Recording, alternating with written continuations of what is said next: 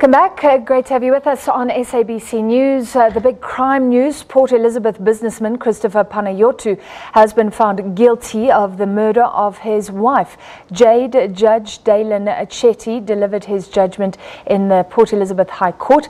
Panayiotou and his co accused Zolani Sibeko and Sinethemba Nemembe uh, were tried for conspiring to commit murder, murder, abduction, and defeating the ends of justice. Panayiotou was the mastermind behind the abduction and murder of his wife Jayde in 2015. She was abducted outside her house by the hitmen, shot execution style, and her body was found a day later in an open felt. Panayiotou's defense team has indicated that they will appeal. An emotional day in court as both families anticipated the verdict. I'm satisfied that the evidence adduced proves the guilt of the accused on the charges specified hereunder beyond any reasonable doubt.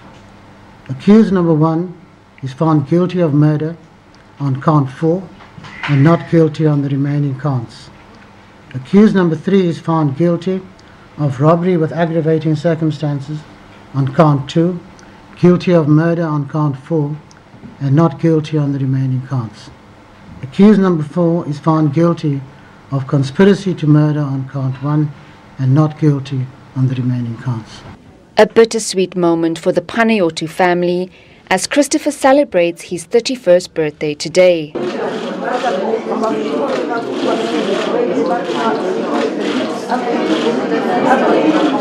For the Inggs family, the justice they were seeking.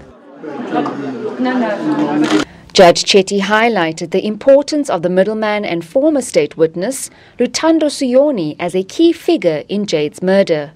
Judge Chetty referred to the video implicating Panayiotou as he handed over money to Siyoni in the judgment. And then they didn't take the watch or anything.